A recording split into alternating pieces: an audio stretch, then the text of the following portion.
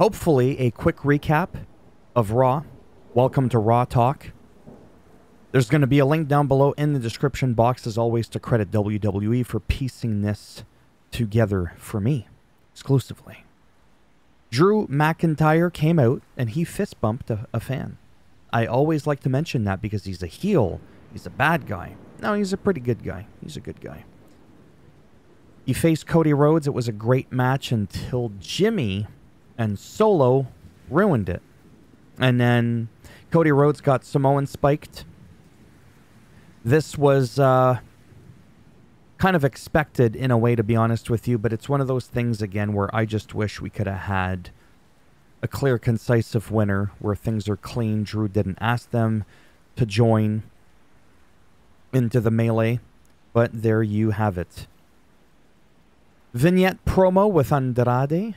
Great as always. I love how they do the vignette promos. They tend to be uh, pretty decent quality production. And I can't wait to see what comes of him. He's actually married to Charlotte Flair, if you didn't know. So Ric Flair is his father in law, in case you were curious. Little FYI for your information. FY. Yeah. Wow, that was a fail. Yeah, can't wait to see what uh, kind of storylines they're going to have around him. Cody backstage says that he's fine after his jugular ate the Samoan spike from Solo Sikoa. Tells Pierce, you know what? I'm fine. I'm good. Pierce says that he's probably going to find Jimmy and Solo. Then Seth walked in. Taps Cody on the leg. Walks out. The Last Chance Women's Battle Royale. Raquel Rodriguez won the whole thing, and I do like Raquel. And this is gonna sound rude, but I'm gonna say it anyways. I don't I don't understand the whole like double arm flexing, look at my back. Because I'm thinking Rhea Ripley, Ivy Niles, Zoey Stark. Do you know what I mean? Like, for me, it makes more sense for them to do that. Raquel, I'm like, okay, the like an Amazon, you know? You got the the like the muscle, like the the beefiness, uh, if you want to call it that. There's not much of a bicep peak. I don't know. It's just a, it's just a weird thing. Like I said that I see, and then she did it like two or three times. I'm just like, what what is that?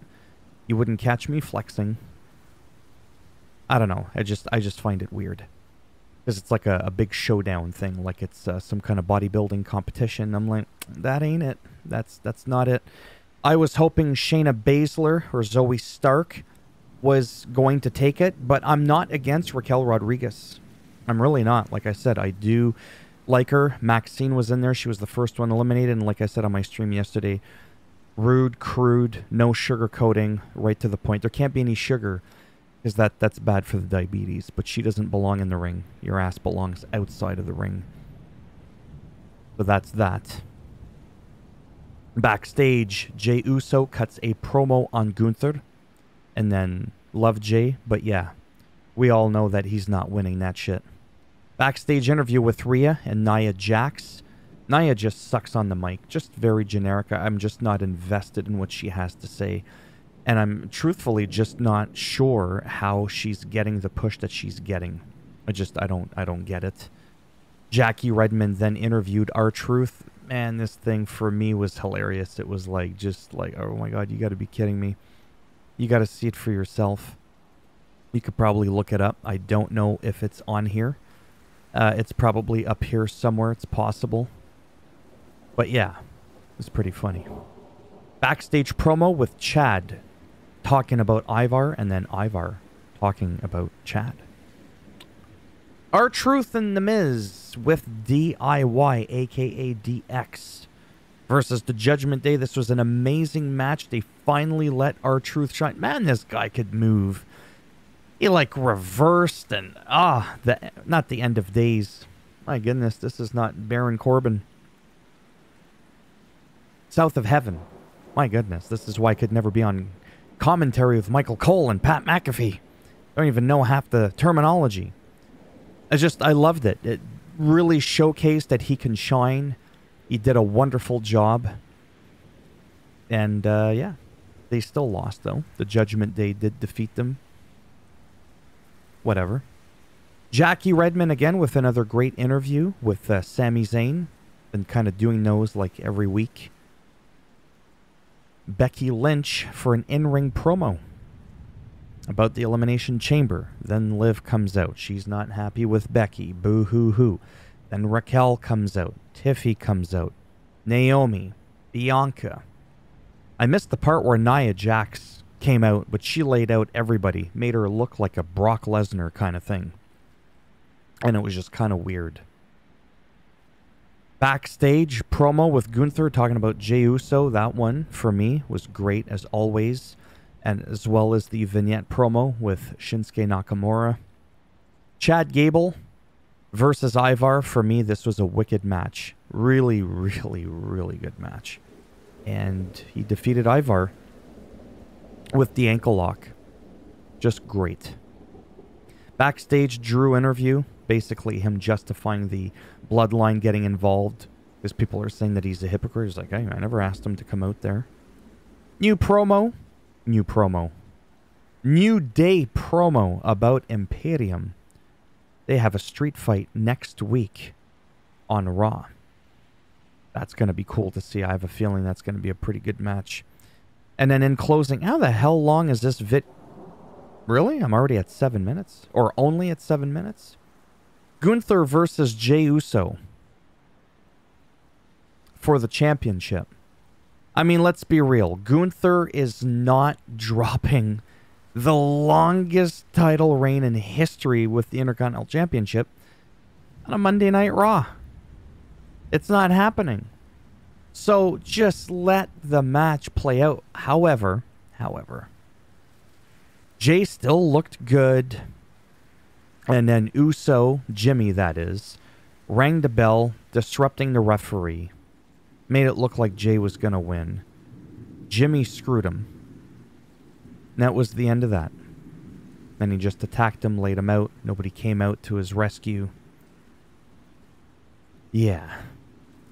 Wow, that kind of wraps it up really quick. However, I did I did enjoy myself as I said. Sometimes there's going to be moments where I'm like, eh, you know, that's not it. Like I don't I don't remember that part. I don't think that was that was there.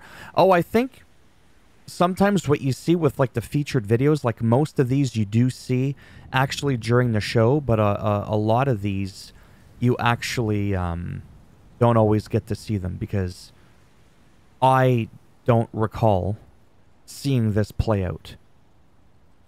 Oh, and then Michael Chandler calls out Conor McGregor on Raw. I thought this was kind of weird because he's just all like screaming at the top of his lungs.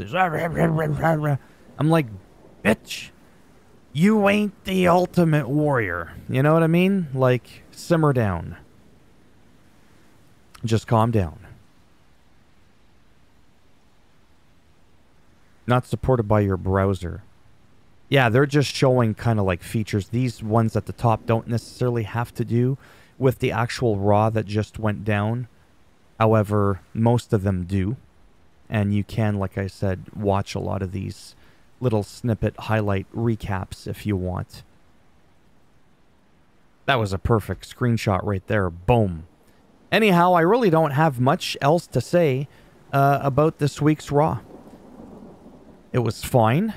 I enjoyed myself, and I am just really excited to see what happens with the whole uh, Elimination Chamber. I mean, I'm really, really pumped for that. And aside from the typical, usual, subtle nuances that I experience with any show that I watch. There's always going to be something I could find to complain about. I just, I had fun.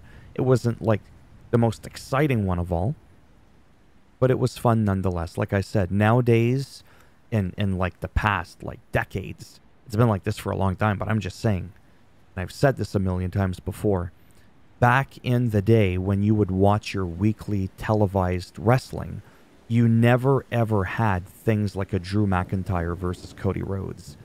You just you didn't have it. It just did not exist whatsoever. You would have something like Cody Rhodes facing off against a local talent, Drew McIntyre facing off against a local talent. They would save these kinds of banger matches, if you want to call them that, for what they used to call back then pay per views.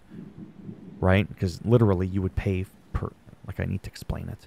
The premium live event thing. Maybe I'm just conservative when it comes to that. I just don't like the terminology. I'm not saying it doesn't make sense.